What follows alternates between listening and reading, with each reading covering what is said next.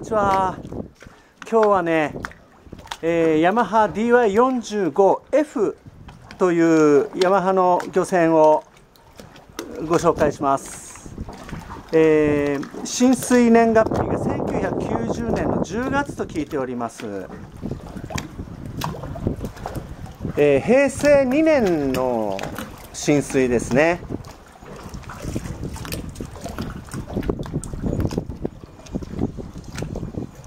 全長が13.6メーターぐらいですかね。横幅が3メーターちょっとあります。3メーター5ぐらいかな。はい。えー、すごく綺麗にされてます。実はこの船リメイクされてますね。あの綺麗に塗装がされてるんです。ここもここもですね。外側をちょっと見てみましょうか。外側もですねうまく塗装がされております。綺麗ですね。左舷側です。左舷側も綺麗にここ塗装がされてます。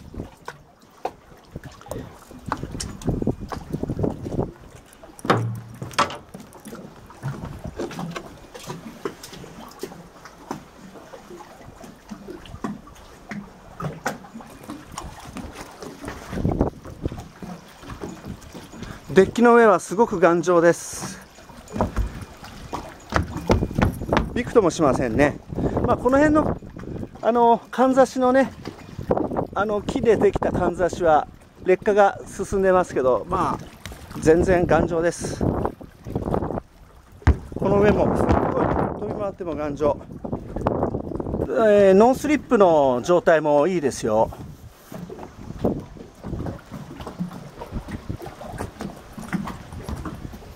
ああこっちのフロントデッキもねこれハッチが交換してあるのかな？綺麗。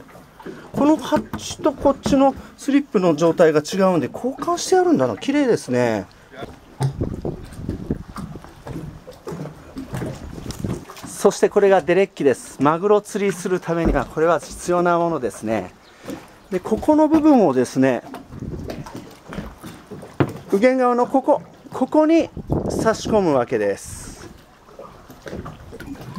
今ねハッチを全部開けてみました。えー、手前からここがいけすですね。すごく大きいたくさん魚が入るようです。そしてこの船の自慢がここ。実はここマグロがすっぽり入るようになっております。開けてみましょうか。よいしょ。あ結構重い。よいしょ。頑丈。あ分厚い。こんなに分厚い。氷間。ずっと奥までマグロがすっぽり入るようになってます。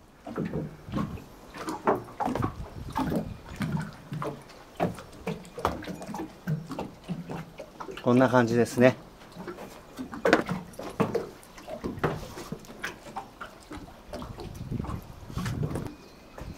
じゃあ横をずっと歩いていきましょうか。ああここの幅もすごい広い。ここすごい広いですね。60センチぐらいありますね。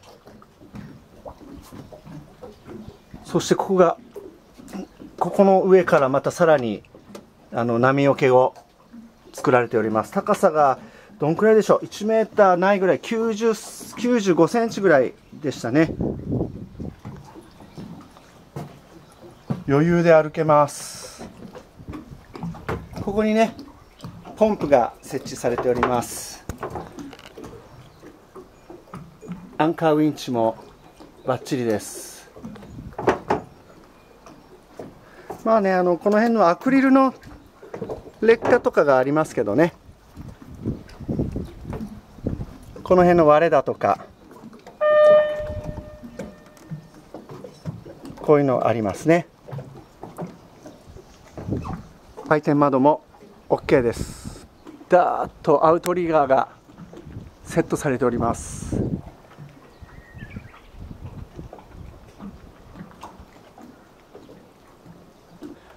すごく余裕で歩けます。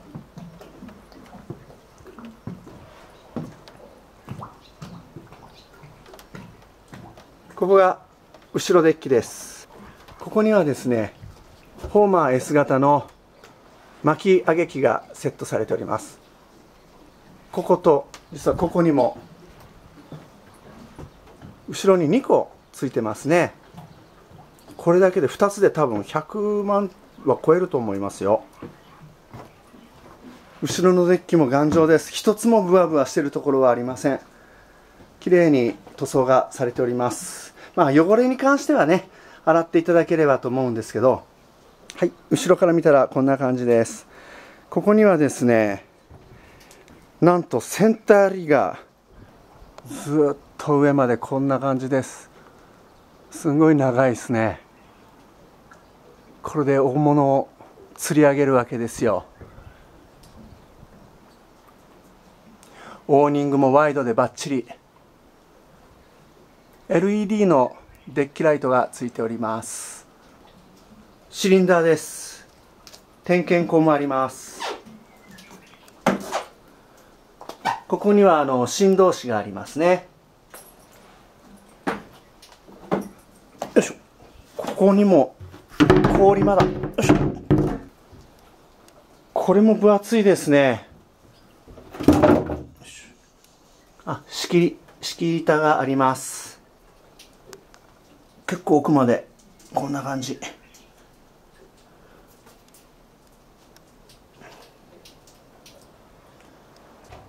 それではキャビンの中入ってみましょうか。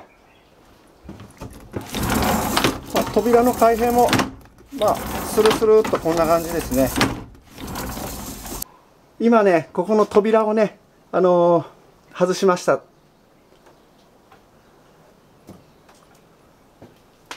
すごいケーキ類がいっぱい並んでおります。えー、っとここがですねあこれがですね、こういうふうに、あのー、そうですね、3人ぐらい座れるスペースになっております。そしてこの下がね、あのー、収納スペースになってます。ちょっと開けてみましょう。あ、広いですね。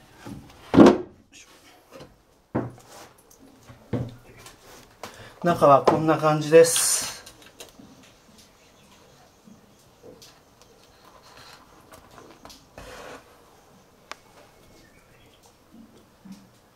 あずっと奥まで。あ奥までこんな感じです。よいしょ。燃料タンクですね。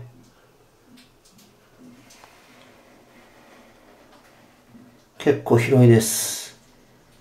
ケーキ類はね取り付けられたばっかりです。これが GPS 魚探。フルのですね。あ全部フルので揃ってるえー、こちらが無線です。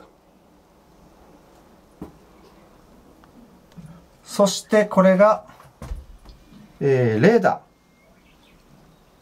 ー。もう一つこっちにも魚探がありますね。そしてこれがオートパイロット。メーター類です。コンパス。ね。これも綺麗です。つけたばっかり。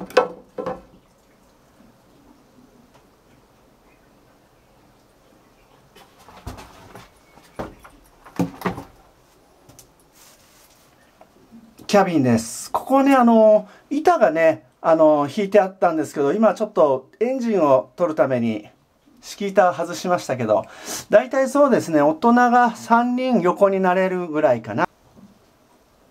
ヤマハ380馬力と聞いております。空冷式のインタークーラー付きです。